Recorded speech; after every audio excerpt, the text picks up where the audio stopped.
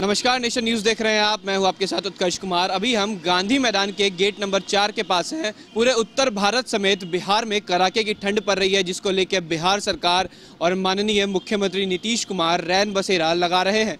यहाँ पे आप देखिए पाटलिपुत्र अंचल की तरफ़ से रैन बसेरा लगाया गया है, जिसका नाम मॉडल रैन बसेरा है। यहाँ पे जो सोशल डिस्टेंसिंग है, उसको फॉलो करने के लिए कुछ कुछ दूरी पे बेड लगाए गए हैं, लोगों के रहने के लिए उत्तम प्रबंध किया गया है। कैमरा जर्नलिस्ट से कहेंगे कि इधर दिखाएँ और यहाँ पे पानी के लिए भी उत्तम प्रबंध है, साथ ही साथ सैनिटाइज़र और सामान रखने की भी काफ़ी व्यवस्था की गई है। हमारे साथ पाटलिपुत्र अंचल के और नगर निगम के कर्मचारी विशाल कुमार हैं। आइए जानते हैं उनसे कि यहाँ पे क्या क्या चीज़ों की व्यवस्था की गई है सरकार की तरफ़ से। विशाल जी, यहाँ पे किस किस चीज़ों की व्यवस्था है?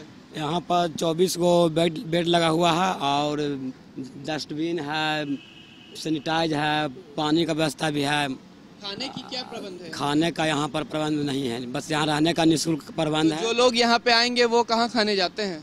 वो मार्केट में अपना कहीं पे खा लेते हैं या फिर लेके आते हैं अपना नाश्ता पानी अपना यहीं पे कर लेते हैं। तो सरकार द्वारा सिर्फ़ यहाँ रहने की निःशुल्क व्यवस्था की गई है और पानी की व्यवस्था की गई है खाने का कोई प्रबंध नहीं किया गया है फ़िलहाल यहाँ पे? जी यहाँ पर खाने का प्रबंध अभी मतलब फ़िलहाल नहीं किया गया है। अब आगे देखिए क्या मतलब होगा आगे। और यहाँ लाइन वाइन की व्यवस्था क्या है? फ़िलहाल तो लग रहा है कि लाइन कटा हुआ है यहाँ पे। हाँ फ़िलहाल लाइन कटा हुआ नाइट में लाइन रहता है लाइन तो देख ही रहे हैं। तो यहाँ पे देखभाल के लिए आपको रखा गया है। तो जिस तरीके से विशाल जी बता रहे हैं कि यहाँ पे खाने की व्यवस्था नहीं है सिर्फ़ रहने की व्यवस्था की गई है। सरकार के तरफ़ से हैंड सैनिटाइजर के रखा गया है। यहाँ पे पानी की व्यवस्था की गई है कूड़ेदान रखे गए हैं और सोशल डिस्टेंसिंग का फॉलो किया जाता है यहाँ पे और लोग यहाँ सिर्फ़ रहते हैं खाना वो बाहर से खाते हैं। ऐसे ही तमाम खबरों के लिए बने रहें और देखते रहें नेशन न्यूज़। धन्यवाद।